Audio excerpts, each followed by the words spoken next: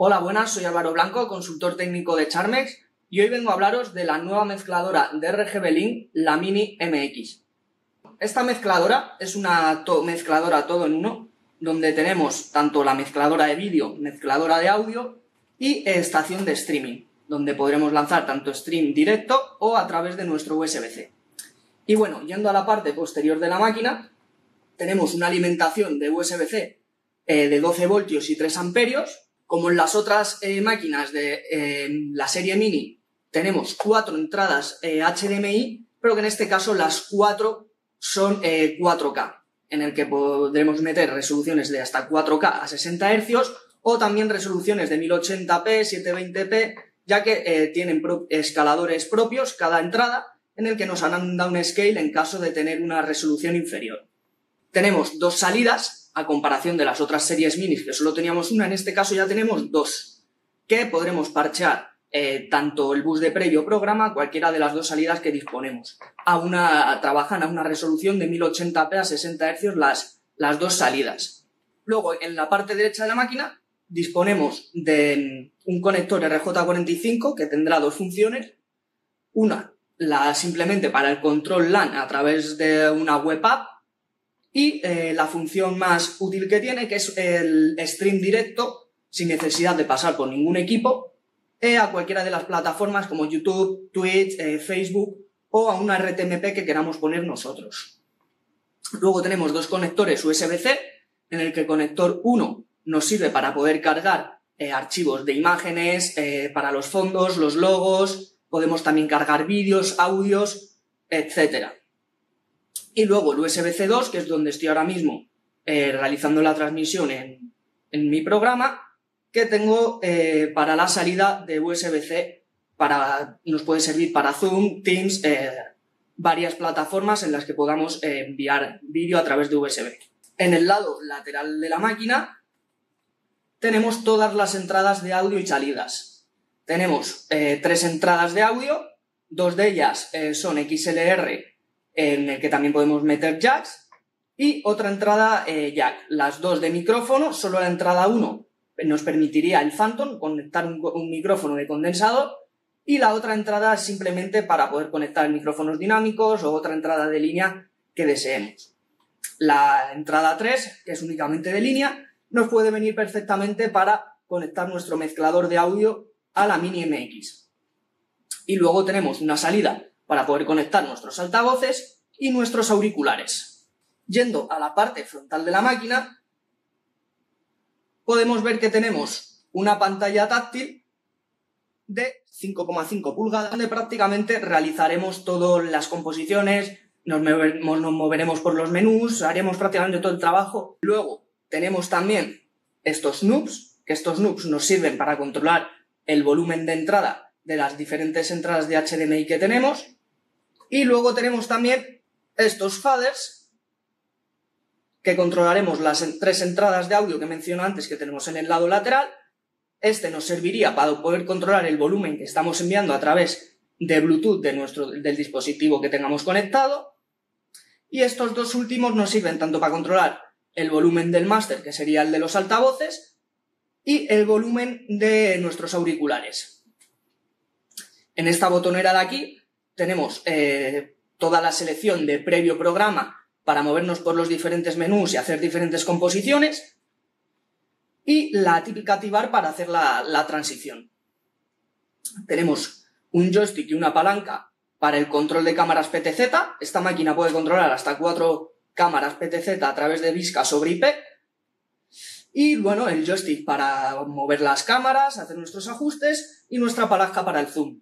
Y bueno, esto sería la, la mezcladora de RGB la Mini MX, y ahora entraremos un poco más en la parte de cómo funcionan los menús y un poco sus configuraciones.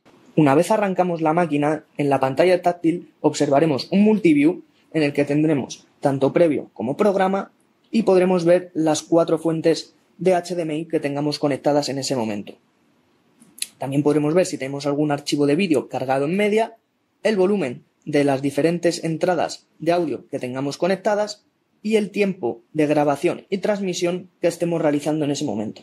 Cuando pulsamos el botón de menú nos aparecerán tanto en la parte derecha las eh, fuentes de entrada que tengamos conectadas como los archivos cargados, vídeo, overlays, logos y backgrounds. En el medio tendremos nuestro previo y nuestro programa para hacer las diferentes transiciones y en la parte izquierda tendremos la parte de selección y de selección de capas para hacer el tratamiento de forma individual de cada una de ellas. En la parte inferior tenemos información básica sobre el estatus de la máquina. Una vez entramos en la configuración, en el botón 1 si lo pulsamos o le damos de forma táctil, entraremos al desplegable de transiciones, donde tenemos disponibles hasta 16 tipos de transiciones. En layout será la parte de la composición de nuestros PIPs en el que podremos tener unas configuraciones predefinidas o de forma manual escalar nuestros PIPs y hacer un crop dentro de esa imagen. En este caso, el crop es un zoom en el que nos podremos ir moviendo por ese PIP que eh, tengamos en ese momento seleccionado.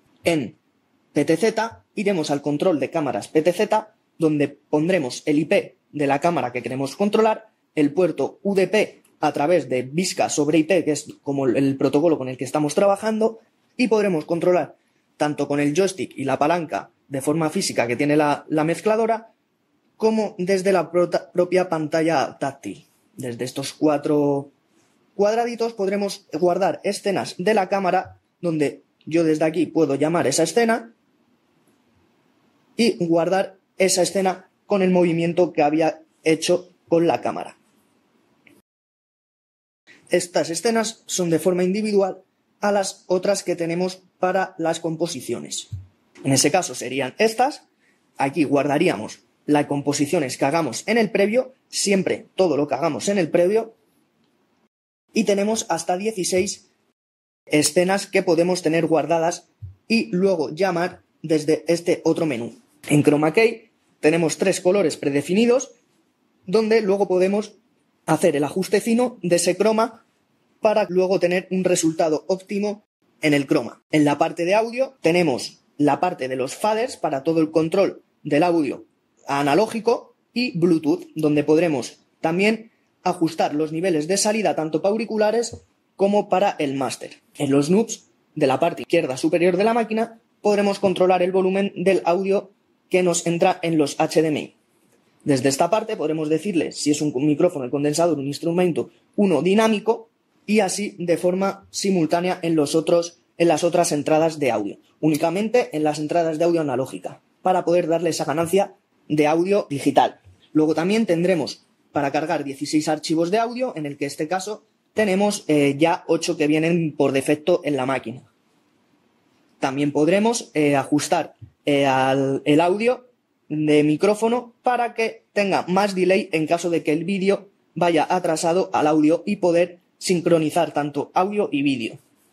A nivel de salidas, podemos tanto en una de las salidas asignarlas como programa HDMI 1, HDMI 2, test pattern, y en otra de las salidas podemos hacer lo mismo solo que sin los HDMI. Podemos asignar una de las, de las otras salidas como multiview, programa o test pattern. A nivel de resoluciones, esta máquina trabaja con resoluciones estándar que llevan desde 1280 x 720 hasta 1920 por 1080. A nivel de stream, podemos eh, decir qué tipo de bitrate queremos para la transmisión, para que sea más pesado o menos pesado esa transmisión, el modo en el que queremos ver eh, la transmisión, si en landscape o portrait, y seleccionar la RTMP que hayamos cargado desde nuestro dispositivo USB o la hayamos seleccionado desde la web Wii. En Record entraremos ya en la parte de grabación, donde si tenemos un USB conectado, nos dirá el tiempo de grabación que tenemos y la memoria si es suficiente o no es suficiente. Y por último, en Settings podremos controlar tanto eh, la ventilación de la máquina, que sea de forma automática, o decirle nosotros qué nivel de ventilación tiene que tener.